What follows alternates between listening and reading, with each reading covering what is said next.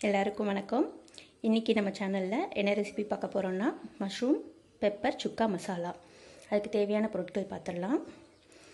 வெங்காயம் பொடியாக நறுக்குனது மஷ்ரூம்ஸ் பொடியான எப்படி நீங்கள் கட் பண்ணி வச்சுக்கலாம். ப்ளஸ் இது வந்து சோம்பு அப்புறம் மிளகு. ஒரு ஸ்பூன் ஸ்பூ- சோம்பு ரெண்டு ஸ்பூன் மிளகு வந்து லைட்டாக வந்து டோஸ்ட் பண்ணி பொடியாக பண்ணி வச்சுருக்கேன். தேவையான அளவு உப்பு மல்லித்தூள் இது கொடைமிளகா பொடியாக நறுக்குனது இஞ்சி பூண்டு விழுது தக்காளி ஒன்று பொடியாக நறுக்கினது கொத்தமல்லி இலை. இப்போது ஒரு மண் சட்டி வச்சுக்கலாம். இதில் தேவையான அளவு எண்ணெய் ஊற்றிக்கலாம் சுக்கா மசாலாவுக்கு நல்ல எண்ணெய் கொஞ்சம் அதிகமாக இருந்தால் டேஸ்ட் நல்லாயிருக்கும் எண்ணெய் நல்லா காஞ்சதும் இதில் பொடியாக நறுக்குன மூணு பெரிய வெங்காயத்தை ஆட் பண்ணிக்கலாம்.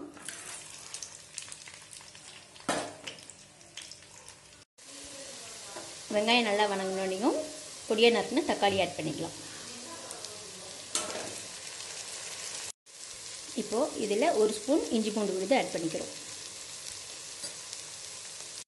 இப்போது இதில் குடமிளகா ஆட் பண்ணிக்கலாம்.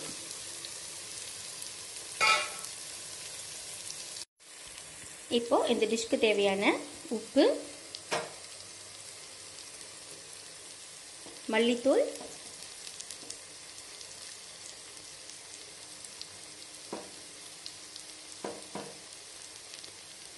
அப்புறம் நம்ம அரைச்சி வச்ச இந்த மசாலா பொடி.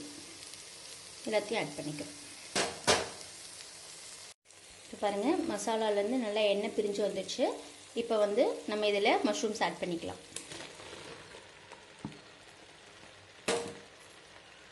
இப்போ பார்த்தீங்கன்னா நல்லா மிக்ஸ் பண்ணியாச்சு. இப்போ நம்ம இதை மூடி வச்சு கொஞ்சம் நேரம் வேக வைக்கலாம்.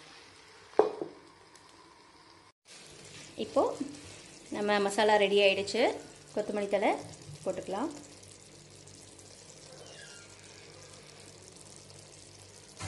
போட்டு ஆஃப் பண்ணிக்கலாம். சூடான சுவையான mushroom pepper chukka masala ready நீங்களும் இந்த ரெசிபியை ட்ரை பண்ணி பார்த்துட்டு எனக்கு கீழே கமெண்ட்ஸில் உங்களோட கமெண்ட்ஸை போஸ்ட் பண்ணுங்கள் தேங்க்யூ ஃபார் வாட்சிங் please subscribe my channel for more me videos thank you